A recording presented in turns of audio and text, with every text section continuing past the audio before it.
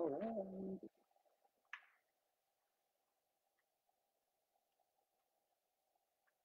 All right. Hello, everyone. Kevin, I was for Kevin, uh, today we're talking about basically how to help your dog through some scary situations. Yesterday, I released a new blog post which kind of broke some of that down. I want to talk a little bit about that today and just kind of go through some different scenarios where if your dog is afraid, how you can sort of help them. in some situations, you're going to be kind of stuck. It's like, hey, I gotta, we're stuck in this moment. What do we do? So, like, what is the best way to manage?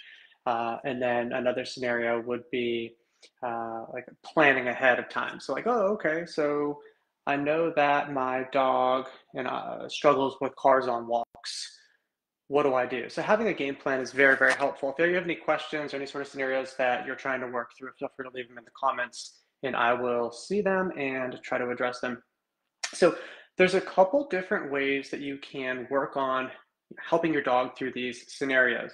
There's a way that involves asking for your dog to do certain behaviors. And then there's another way that just focuses on building an association. So turning the scary thing into something that's not so scary. So let's start off by talking about that.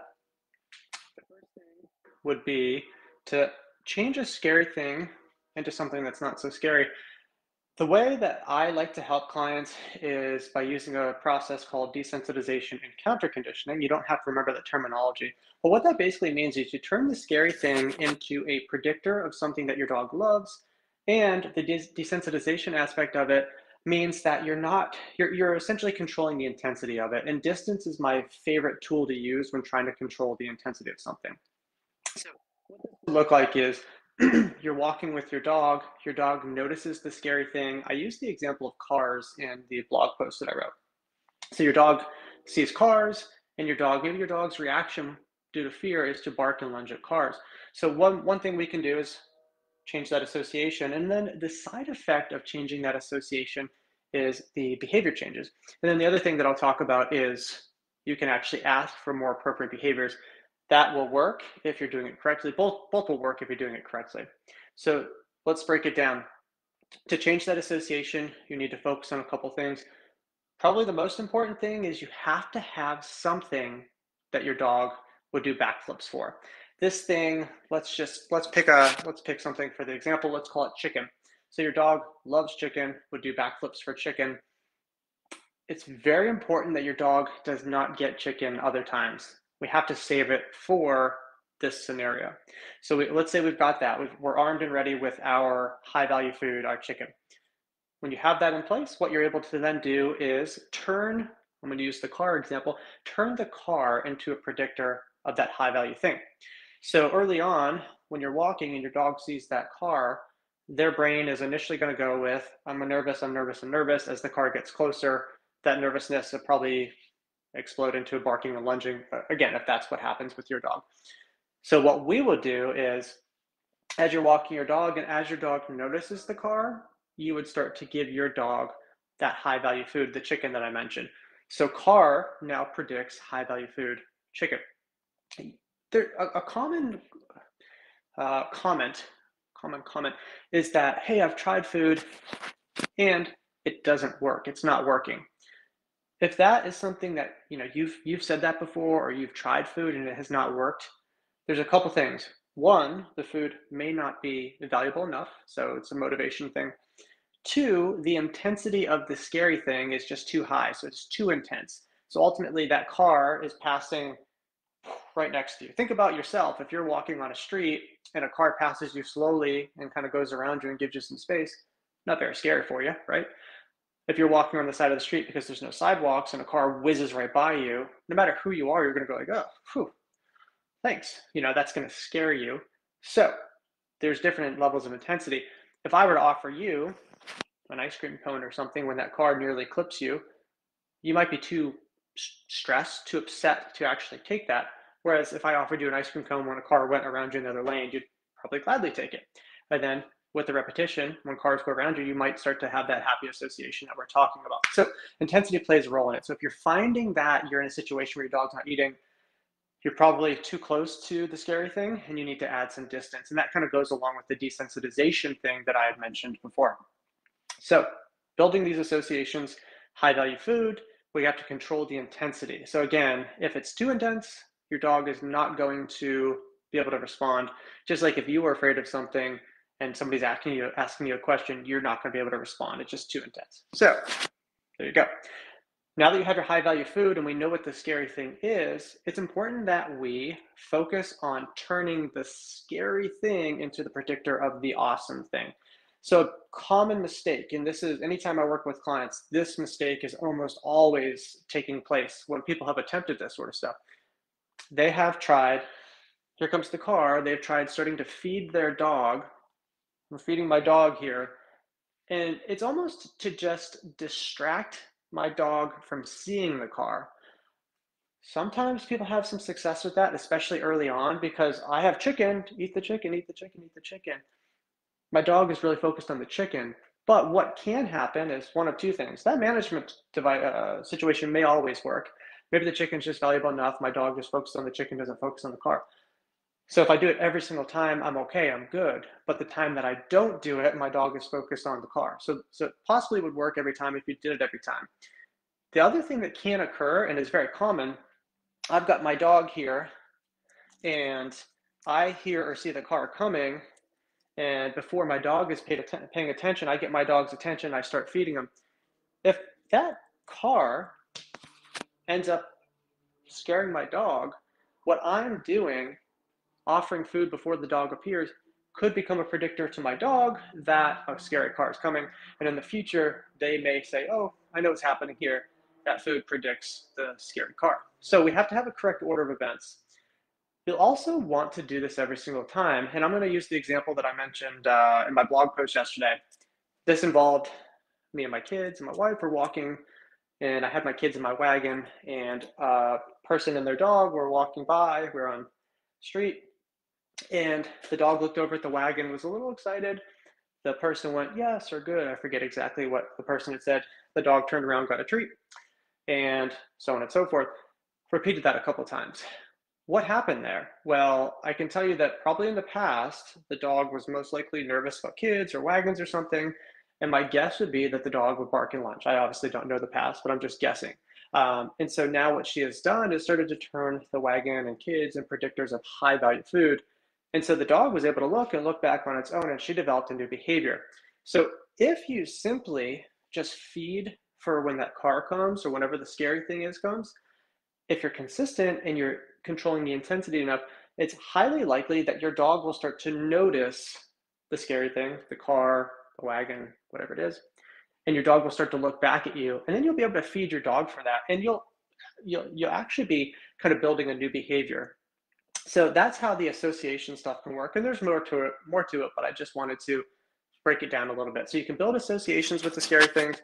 What you can also do is simply just teach behaviors. Now, you'll still need food for this. You need to reward the behaviors to get them to happen more frequently. So you need food for it. You're going to need a high value food as well. So let's keep using the chicken example. So you've got your chicken on you, you're walking your dog, and I'm going to hold my dog because I need to have him visible. Walking my dog, my dog notices the car coming. That could be my cue to use a verbal marker or a clicker, something to that effect. I could say good or yes. So this is similar to what happened with the wagon yesterday, uh, the other day too. My dog notices the car. I say, yes, good boy. He turns back and looks. I feed him and repeat. So I could do like a look at that exercise, or instead of just saying good or yes, I could actually ask for behavior. So he looks at the car. I say, watch. He looks up at me. I feed him. He looks at the car. I say, watch. He looks up at me. I feed him.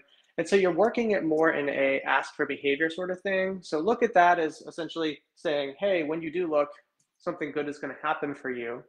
Um, and you mark it. And then eventually dogs will kind of jump it. And what they'll do is they'll see it and look back at you before you even do anything, which is awesome because then you're not worrying about barking and lunging. You're not necessarily worrying about the fear aspect of it. Uh, so, so that's kind of a way to look at it. If you're going to ask for behaviors, you still need to have the correct order. And what I mean by that is you want to wait for your dog to actually see the car first or whatever the scary thing is then ask for the behavior, then reward. With that repetition, your dog will eventually start to notice it. And I've already sort of mentioned this, but your dog will start to notice the car, look back at you, and reward. And then everything kind of falls into place. So it's really cool because then you're just walking instead of your dog going, oh, car, your dog's going, hey, car, hey, did you see that? Where's my treat? That means you have successfully changed the association, at least in that context, and you uh, have a new behavior. So that's what's really cool. So those that's kind of uh, those are a couple things that you can do. Here's a couple things that you don't want to do, or at least one thing you don't want to do.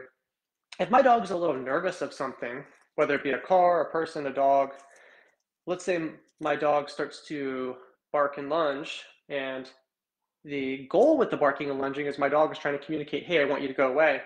I wouldn't want to give any sort of correction for that behavior. If I were to say, hey, don't do that, what am I teaching to my dog? Well, one, it is possible that I could decrease barking and lunging because he has learned that if I bark and lunge, I get a, a nasty correction. So it could potentially decrease the behavior. But what is highly likely to happen is your dog is going to start to build an association that when a scary thing starts coming, a correction is also about to come, which is going to help develop an even uh, further negative association. Or, or maybe there wasn't a negative association there before, but now there is. So that's something to take into consideration. So don't do any sort of corrections. It will increase fear. Um, it could decrease behaviors, uh, which also means that you could just be shutting your dog down, and that's not very helpful. Again, if anybody has any questions, feel free to leave them in the comments, or if you're watching this after it's posted, feel free to leave a comment, and I will check back and answer for you. So anything that's frightening your dog, your goal would be to turn the scary thing into a predictor of awesome stuff. And then the biggest factor, or one of the biggest factors, is controlling the intensity. So if your dog is afraid of the garbage disposal in your house, maybe I'm at my kitchen sink, garbage disposal is right in front of me, my dog is right there. Maybe I turn that garbage disposal on and my dog heads for the hills. Maybe that makes me feel terrible. I don't want my dog to be afraid of that sort of thing. So let's let's condition it, right? So let me turn on that that garbage disposal and then I can feed my dog. Well, in theory, that could work because I'm saying, hey, garbage disposal's on. You're going to get some tasty chicken. But garbage disposal is too intense and my dog starts running for the hills. He may not eat. He might say, get that food away from me. That thing is, it's, it's going to kill me. So we figure out a first step where your dog can be successful. Perhaps my dog would be successful if I brought him into a room, shut the door, we're hanging out in there, and then my wife turns on the garbage disposal, and then he's like, oh, I hear that and then I start feeding him, that could be my first step. Do that a few days in a row. Before you know it, that garbage disposal turns on. My dog gets happy. Then I'd be ready for my second step, which would probably be an example would be open that door, stay in that room, and then what ends up happening is he hears it louder, but it's not so scary, We still at the distance. Shelly, would you say Theo still uses this method thanks to you and all your training? Shelly, give Theo a treat for me. Shelly, by the way, I have an Akita that lives next door to me who reminds me of Theo a little bit, and she is so lovely, and it makes me miss him even more. But I'm glad to have uh, Lola next door because she's she's fun.